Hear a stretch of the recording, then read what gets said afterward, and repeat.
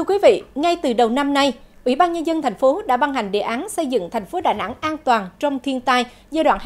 2022-2030, tầm nhìn đến năm 2045 làm cơ sở quan trọng để các ngành địa phương phối hợp triển khai đồng bộ các giải pháp nhằm nâng cao khả năng ứng phó, phòng ngừa và giảm nhẹ rủi ro thiên tai. Đây cũng là tiền đề để Đà Nẵng phát triển bền vững trong bối cảnh thích nghi với biến đổi khí hậu ngày càng phức tạp như hiện nay. Phóng sự được thực hiện nhân ngày truyền thống phòng chống thiên tai Việt Nam ngày 22 tháng 5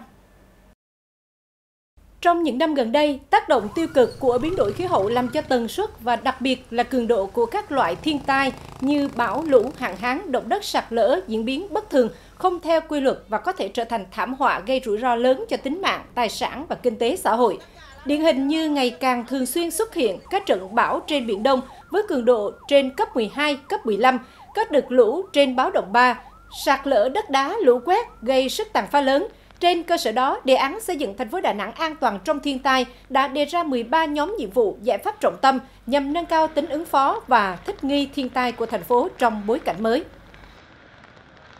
Trong cái đề án thì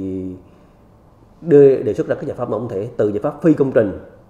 từ bộ máy quản lý, từ trang thiết bị phương tiện, từ cái chính sách cho đến giải pháp công trình cũng đầu tư các công trình phòng chống thiên tai,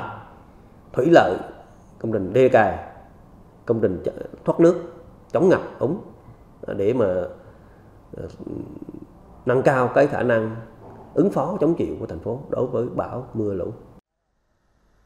Đề án cũng mở ra các giải pháp dài hạn nhằm xây dựng thành phố phát triển bền vững với biến đổi khí hậu, trong đó nổi bật là việc hỗ trợ kinh phí để các địa phương cập nhật, bổ sung, hoàn thiện kịch bản ứng phó thiên tai trong tình hình mới. Theo số liệu nghiên cứu từ đề án, Phần lớn các phương án kịch bản ứng phó và giảm nhẹ rủi ro thiên tai hiện nay của các địa phương đều đã không phù hợp với thực tiễn. Đây cũng là một trong những nội dung mà lãnh đạo thành phố quan tâm chỉ đạo quyết liệt thời gian gần đây.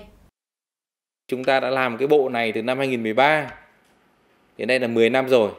Mặc dù hàng năm chúng ta có cập nhật, nhưng tôi nghĩ là lần này chúng ta làm tổng rà soát đi. Đến đây các quận huyện cũng làm luôn. Tôi đề nghị là các quận huyện cùng với cả ban chỉ huy văn phòng ban chỉ huy để làm lại cái bộ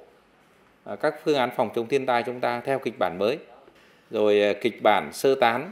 trước kia chúng ta chỉ có mưa lũ rồi bão chúng ta mới sơ tán thì bây giờ là ngập lụt đô thị chúng ta cũng phải sơ tán rồi được biết tổng nhu cầu kinh phí thực hiện các hoạt động của đề án xây dựng thành phố Đà Nẵng an toàn trong thiên tai giai đoạn 2022-2030, tầm nhìn đến năm 2045 dự kiến khoảng 5.250 tỷ đồng. Trong đó, thành phố phấn đấu 100% dân cư các quận ven biển có nhà ở kiên cố, 100% dân cư khu vực ngập lụt được sơ tán đến nơi an toàn khi có mưa lũ lớn, 100% chính quyền các cấp, cơ quan, tổ chức và các hộ gia đình trên địa bàn thành phố được tiếp nhận đầy đủ thông tin về thiên tai. 100% dân cư vùng bị ảnh hưởng thiên tai được tiếp cận tập huấn kiến thức kỹ năng.